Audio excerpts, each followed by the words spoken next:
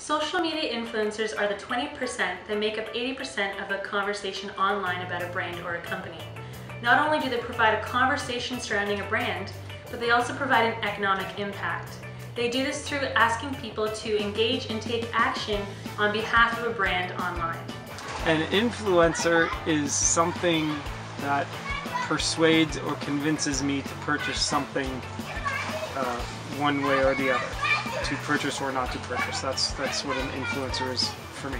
What I think a social media influencer is is someone who has a large presence uh, online via Facebook, Twitter, and LinkedIn, um, and they're using all channels essentially to do most of their engagement or unmarketing, if you say.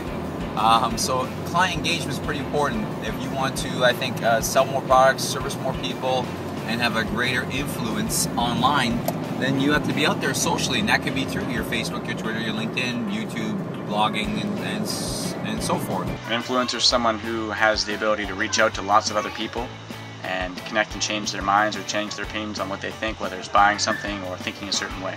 You could trend on something on Twitter, Mm. right? And that's a huge influencer because that's a social tool that a lot of, you know, organizations or people or other media companies use in order to, you know, update people and kind of get people in the know. So people use that to trend. And so they'll say a little status like, I love the color purple. And then all of a sudden everybody likes the color purple.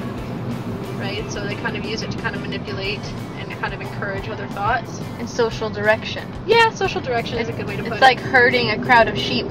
yeah, exactly. Mm. It's almost like I am the shepherd and you are my sheep. So I would say an influencer can be somebody, something, an atmosphere, almost anything um, that in some way skews you in some direction um, to meet, almost to meet an objective. Mm. And would you say it would be their own objective? Yes. And because it's that organization, person, place, thing, atmosphere, whatever, um, that wants you to condition to that objective in a way. Not necessarily condition, but wants you to conform to that objective. Social media is the tool of the influencer. It's like a it's a vehicle for Yeah. an influencer. Here at Maven Social, we're not only able to identify social media influencers for brands, we're also able to track them throughout the life of the campaign that they would have with us. This is extremely important because for the first time, brands are able to identify and track influencers that actually influence the conversation around their brand online through different people, generations, and through different groups and activities.